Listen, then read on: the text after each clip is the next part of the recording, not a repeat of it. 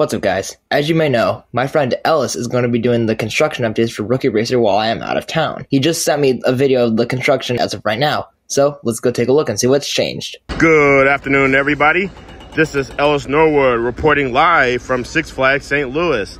As of now, the time at the top of the hour is now 2.02 p.m. So as of now, looks like Rookie Racer is coming along pretty well.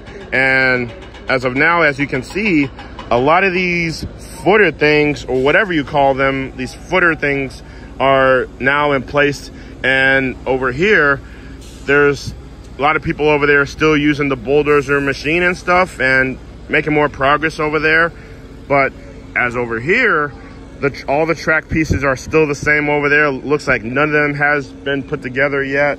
So hopefully hopefully, oh, at least maybe a week from today, at least a week or two, no more than that, uh, the track pieces will finally start actually being put together.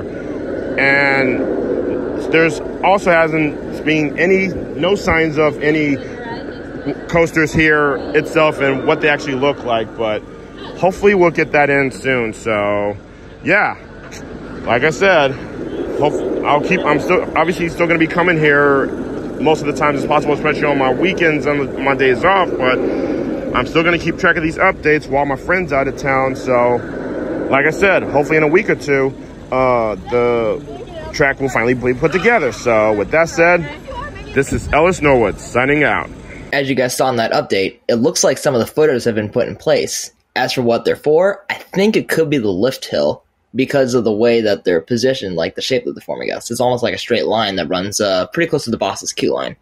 And like Ella said, we don't have any trains on site, at least from what we know. They'll, they could be in the back employee area for all we know, but even then, they're probably not on site yet. But as Ellis does more updates, he'll be able to send those to me, and then I'll be able to share them with you guys. But overall, looks like construction on Rookie Racer is coming along pretty nicely.